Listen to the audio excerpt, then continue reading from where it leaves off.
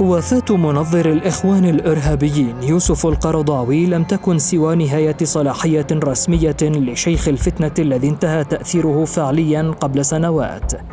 بهذه التحليلات وصف خبراء مطلعون على شأن تيارات الإسلام السياسي المتطرفة وفاة القرضاوي فما الذي حدث؟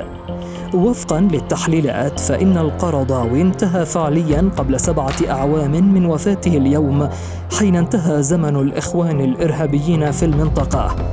إذ قضت مصر على التنظيم المتطرف فبطل مفعول تحريض الداعية الإخواني وسحقت السعودية التطرف فاختفت معه قنوات نشر التحريض.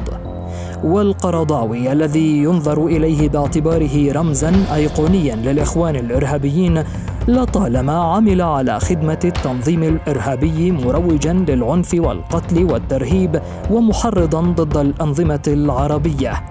وبرز تحريض القرضاوي في فترة ما سمي بالربيع العربي حيث روجت له ماكينة الإعلام الإخوانية وساهمت في صعوده.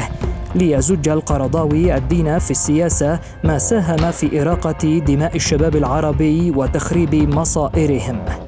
ورغم حديث الإعلام الإخواني عن أمواج بشرية ومشاركة بالآلاف في جنازة القرضاوي إلا أن اللقطات تظهر جنازة عادية لم يتخطى أثرها حدود الدوحة حيث أقيمت قبل أيام وذلك في دليل آخر على أن تأثير الداعية الفعلي خفت منذ سنوات.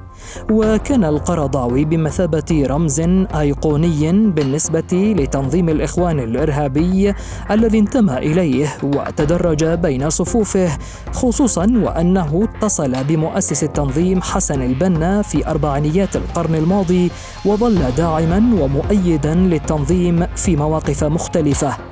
ومع وصول تنظيم الإخوان لسدة الحكم في مصر برز حضور القرضاوي وكانت خطبته للجمعة في ميدان التحرير عام 2011 واحدة من العلامات البارزة في تأكيد تمهيده لوصول التنظيم الإرهابي إلى السلطة وهو ما ترجمه بعد إزاحتهم من الحكم عام 2013 بمواقف حادة ولاذعة من النظام المصري.